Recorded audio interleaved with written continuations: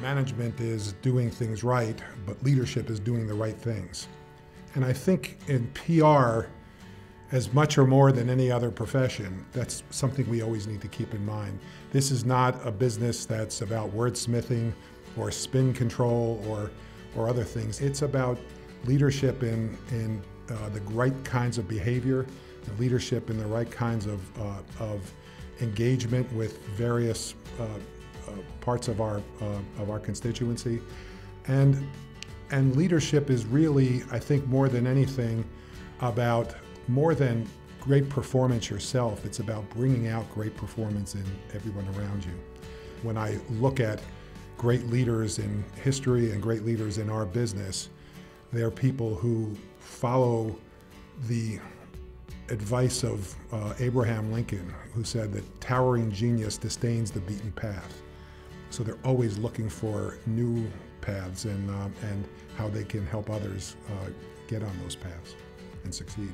Uh, having the, the core values that, that really are, are exemplified in, in the PAGE principles and some other leadership mantras in our business. Be honest, be forthright, uh, be um, engaging with your stakeholders, and I think especially understanding what uh, the full dimensions of communications really are. It's not just about how we frame things uh, to say them the right way.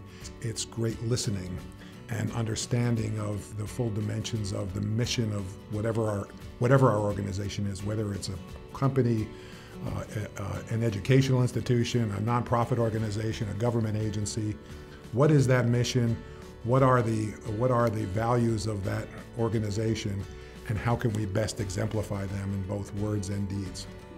First of all, I started out as a newspaper reporter, and whether you start as a reporter or in any other field, I think some of those principles that make a good newspaper reporter, strong writing, not just that you write well, but that you care about writing.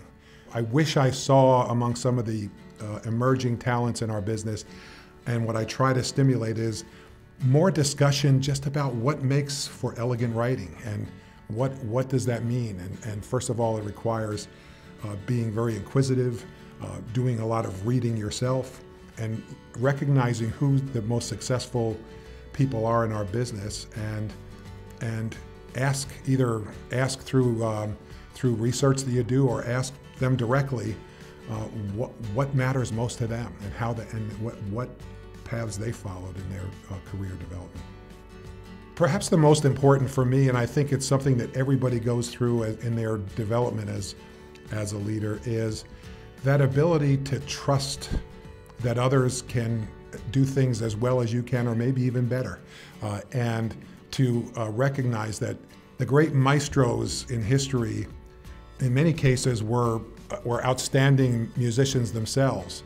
Uh, so Leonard Bernstein was a great pianist, and uh, Mstislav Rostropovich from the National Symphony Orchestra was a great cellist, but what made them great conductors and great uh, maestros was not their own personal musical virtuosity. It was what they brought out of the rest of that orchestra, how they channeled the creativity and, and vision of the uh, composer, and then the, the, way they communicated and, and with, with, both the musicians and with the audience and made for uh, a transcendent experience.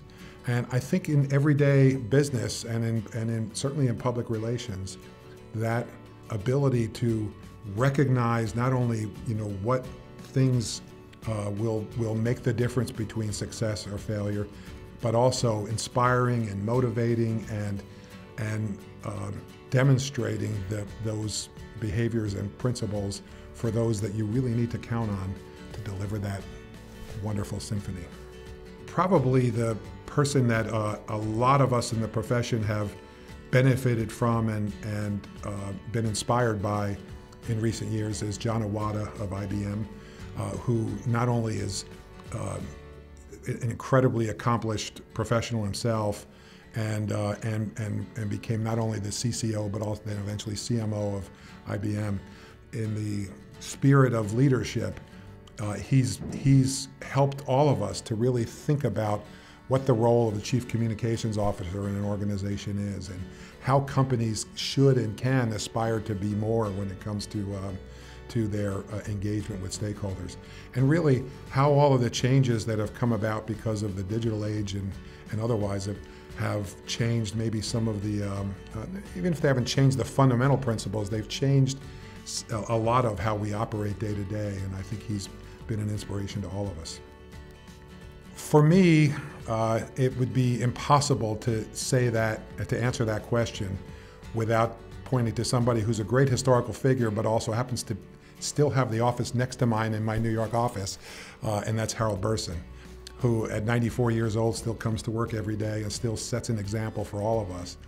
Uh, and I think what makes great leaders in this business, that, that ability to see beyond the obvious and, and continually ask the both the pertinent and impertinent questions that sometimes you need to be asked in, in different situations. His non, uh, unending inquisitiveness. He still seeks out mentors uh, he, to teach him about the uh, social media and about other new developments that are happening today. Um, but also through the years, he's he's been incredibly generous in in how he's uh, uh, shared his insights and experience uh, with others. And when when you work with Harold, it's always very obvious that he's not sitting there trying to make himself look like the most uh, important person in the room or the smartest person in the room. He's asking those questions that can help everybody in the room to think about things in a different way and maybe uh, uh, come on those solutions themselves. And uh, so for me, it's Harold Burson. Well, they're implemented in different ways. I think the, the, the principles of leadership, and I, I, think they're, I think they're the same in every field. It's like asking if if uh, one should drive your car differently in uh, this street versus that street. Uh, there, there are going to be things you'll encounter on one street that won't be on another, but what really makes successful leaders is going to be similar, and those are that ability to understand what's the right thing to do, to uh, to uh, not only uh, suss that out yourself, but be be be really a strong multiplier effect for everybody around you, so that you're bringing out um, the, the best of everyone around you, and being um, forthright with your feedback. Um, so, in other words, giving strong direction, but also uh, helping everybody to adjust that as as as uh, uh, situations unfold. And so that uh, many of those principles are the same in, in any kind of business. They just get applied differently in different ones. And one other point, the great leaders at the CEO level or, or the CFO level or the CMO level or the CHRO level in whatever organization or great professors, all of the great leaders in every field, at the core of that is very much the leadership uh, uh, uh, aspects of public relations. In other words, they are first and foremost great communicators. They inspire, they motivate, they, they're not just passing along information. And, uh, and so I think that those principles, which are very important PR, are, are applied to any business. The approach, I mean, again, they get applied in different ways, but the approach is different. When, when, when we think about what makes a great client relationship leader in our business and an agency, it's it, what I always try to uh, impart to our teams is it's the same thing that we find valuable in a client. Uh, so in other words, inside that company, they're focused on the uh, understanding the business. They understand the the, uh, the competitive set of that business. They they understand, appreciate, and love the brands that they're dealing with.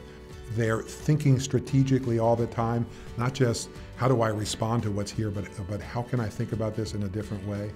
Uh, they're developing ideas creatively, and then always, always, always executing flawlessly or aspiring to. Um, and so in, in each of these areas that applies. There are some there are some differences in the business model in each of these, but uh, but the leadership principles are, I think, uh, constant. I think it, the number one, figure out who is doing that well and and find out why. In other words, if they've written books or they or there have been books about them. I think when I was first getting into this business, or really even it wasn't related to this business, but I've probably read a dozen or 15 books on Abraham Lincoln because I thought of him as the, as the uh, most effective leader in, the, in, in our country's history. And really early in my career, I spent a good deal of time reading biographies of great uh, people through history, which I think tells you what you know what they were what they found important. So first is that you know uh, figure out where the best practices are and what you can do to adapt those or, or, or um, adopt them. Second is uh, ask questions, be inquisitive. Everyone wants to be able to, even if they seem busy and they don't at first respond in maybe the way you thought they would. Uh, great professionals, great leaders want to be able to share the, this, you know, the, the qualities of leadership. So keep be persistent and figure out ways to do that. And sometimes it, you might be surprised. You go and approach uh, or write to a very um, uh, accomplished leader, they'll take the time and and um, and, and respond. And then third, I think. Um, learn, learn, and be de- dedicated, especially earlier in your career, to the fundamentals of the business. It's not in in, in your first few years. Don't be overly focused on what does this assignment mean to the rest of my career, or how do I get this title to be better today? Because what you do in those first few years is really setting up when the real leadership opportunities are going to come and when the when the real accomplishments are going to happen. When I was uh, starting out as a newspaper reporter, they assigned me as one, my first assignment was to be an obituary writer, and I thought that was going to be this dead end. I, I really I went home and told my wife, I think maybe I better go find another field because they they think all I can do is write obituaries. But instead, I thought about how do I make myself the best darn obit writer this paper's ever had? And that was the goal I set for myself.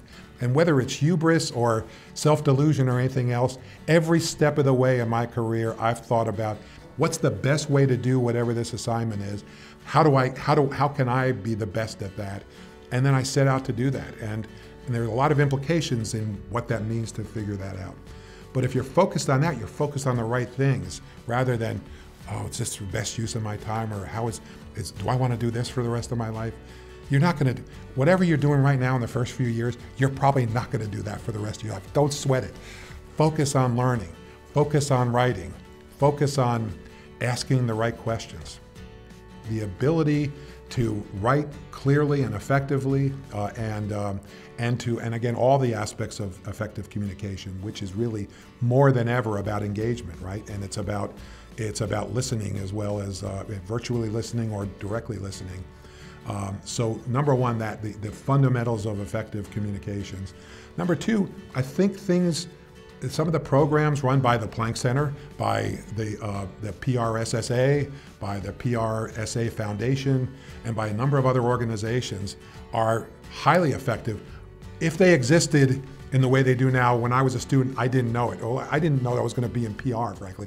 But I think there are a lot of effective organizations that one can either directly participate in and or um, virtually participate. And uh, by all means, jump into that. When we look at entry level professionals, we're looking at somebody that's already, when you show up and we're essentially for one of our internships and you're a junior in college, we're expecting that you've already demonstrated some some commitment to this field, some um, some capability in that area, and it can be any, it can be doing something in a neighborhood organization, or it could be doing something at the school, but show that seriousness and think about that, that how that's going to help build those fundamental uh, capabilities and skills that you will then translate as experience develops and knowledge develops into, into true leadership and true professionalism. Are there naturally great leaders? Of course. I mean, there, there, there are naturally great musicians, there are naturally great um, uh, people in every profession. But the ideals and principles and, and uh, elements of leadership are learnable and teachable. And, and frankly, it is our responsibility as professionals uh, and, and as students. It's our responsibility to be constantly uh, in, that, in that 360 process of learning and teaching. From my perch of, of more than uh, 30 years of working with so many different companies and, and with so many different uh, people throughout the PR profession, I can, I can absolutely assure you there are great leaders in this business. In many cases, people just not had a chance to see it, and maybe, maybe too many of us uh, allow the urgent to overtake the important, as someone once said, and, and we're not, we're not spending the time to really demonstrate and define what that leadership is. Now, that said, uh, there are there are perhaps not, not enough uh, things being done to support exactly the kind of um, program that the Plank Center runs and a number of other organizations to couple uh, leaders in the business with students and with emerging professionals in ways that, that can, can more deeply uh, uh, enable them to share ideas and to, and to um, teach some of the principles of leadership about having strong values, about um, the, the, fundamentals of communications, about uh, the right kind of engagement with stakeholders and the right kind of listening. Uh, and so I think um, that would be the best step, but, um, but also for us to maybe do more to, to celebrate and recognize uh, where there are, are uh, um, great leaders in this business. I think a good place for starting on, on leadership uh, in, in any profession, I think uh, certainly in ours, is a book called True Professionalism by David Maister. Uh, and he has very good ideas about what the elements of great professionalism are, which are also uh, uh, coincidentally the, uh, many of the characteristics of great leaders. Uh, and I think he's got very helpful uh, um, practical advice in that book. Um, I think it came out in the late 90s. I think the best advice is uh, first of all, focus on your writing skills and some of your other basic communication skills. Be a voracious reader, uh, especially of, of, media writ large, all media, uh, traditional media, social media, uh, the various emerging uh, elements of media, uh, and focus on where, where your particular interests lie because I think if you have a passion about what you're working on, that comes through in your work. It comes through in how, how you dive into it and, and, and in the effectiveness of your, uh, the skills you develop and the, um, and the expertise that you then demonstrate. We want most of all to see someone who has already demonstrated a serious commitment to this uh, profession. And that doesn't mean that you've had PR jobs because you're probably coming for an entry level job. Uh, but it means that you've done internships in college and, you've, and you you can show how those apply to challenges my organization might face or our clients might face. So you've done some research, first of all, on what those challenges might be. Um, you're asking questions.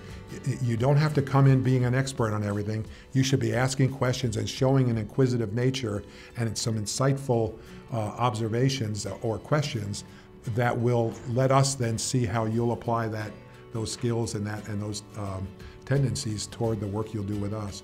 And most important, focus in the in that period in school, but also in your early professional years, in developing your core uh, communication skills, especially writing, but also active listening and trying to understand the greater world in which our clients are operating, because that's going to that's if they then use that to apply their skills, this will be a really uh, successful career.